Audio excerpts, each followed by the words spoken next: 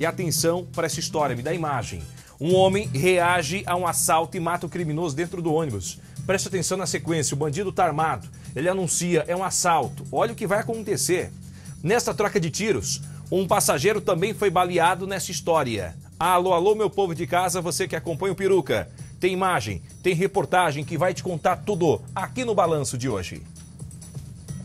A imagem gravada pela câmera de segurança do ônibus executivo mostra o criminoso apontando a arma para os passageiros e para o motorista. Outros dois comparsas, incluindo um adolescente de 17 anos, estavam dentro do coletivo recolhendo pertences dos passageiros. Eles não aparecem nessas imagens. Em seguida, é possível ver quando o ladrão atira pelo menos três vezes. Um dos disparos atingiu um passageiro.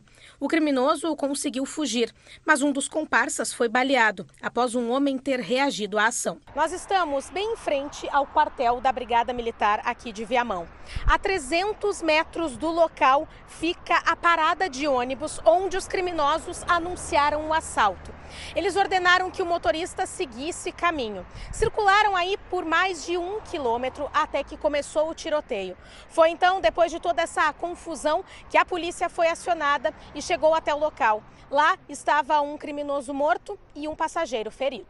Os criminosos entraram no ônibus em Porto Alegre e esperaram o coletivo chegar em Viamão para anunciar o assalto. Depois do tiroteio, os passageiros conseguiram render o adolescente até a chegada da polícia. Quem depende do transporte coletivo todos os dias se sente inseguro. E a gente anda aí para lá e para cá, né? A gente não sabe com quem que anda, né? A gente fica com medo, né?